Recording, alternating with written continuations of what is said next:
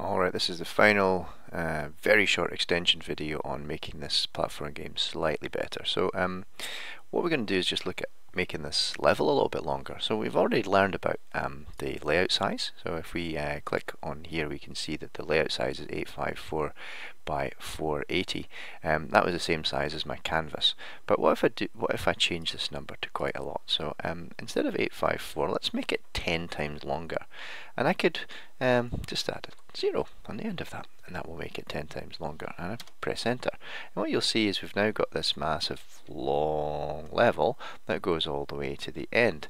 Um, but there's no platforms on it. So um, if you were to try playing this, you could actually go, um, if I just quickly do this, if I add control and drag another one out, and I put the door over here, we would have a serious error because if we play it, um, here we go, just bring my tab over here.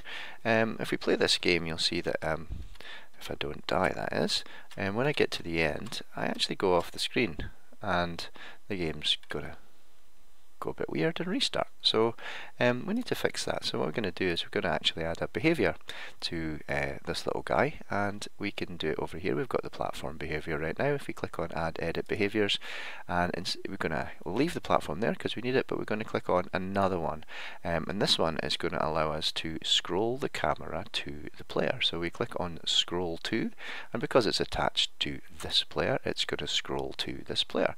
So if we double click that you see we've got two behaviors on here. And uh, right now if we try playing this game um, window keeps coming on the wrong side. Right, here we go. If I play this game you'll see that as we start to move um, the camera moves as well. So I'm able to get myself to this door to win the game. Um, the uh, that's uh, the very basics of that. You can make a, a, really cool challenging level if you want to. You can even make it go higher by changing the uh, the other number, the, the Y direction, um, and make it go down as well if you want to. Um, make sure you've got some background so we can see where you're going. Uh, the last thing is that uh, you don't need to have you don't need to finish at just one level as well. So uh, earlier on we mentioned here we've got layout one and layout two.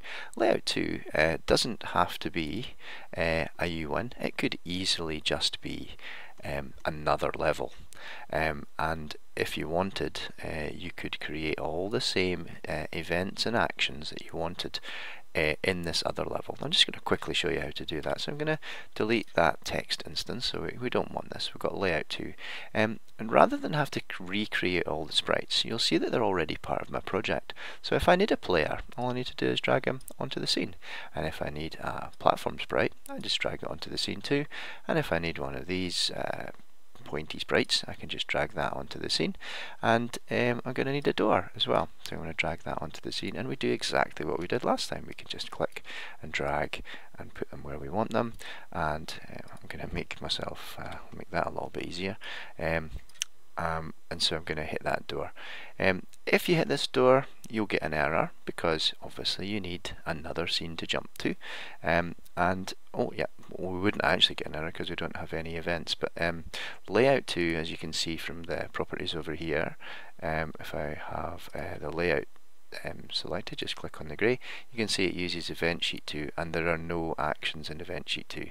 Now here's a real shortcut. I can't be bothered um, doing all of these again so what I'm going to do is I'm just going to highlight them all or select them all with control A for Apple um, control A will select them all control C will copy them so I've just pressed control C then go to the event sheet click anywhere and press control V and up they come um, the issue here is that it's going to try and restart it'll restart the level so when this player collides with that that door sprite it's going to try and uh, load layout 2. What we need to do is change that once we have created our third layout.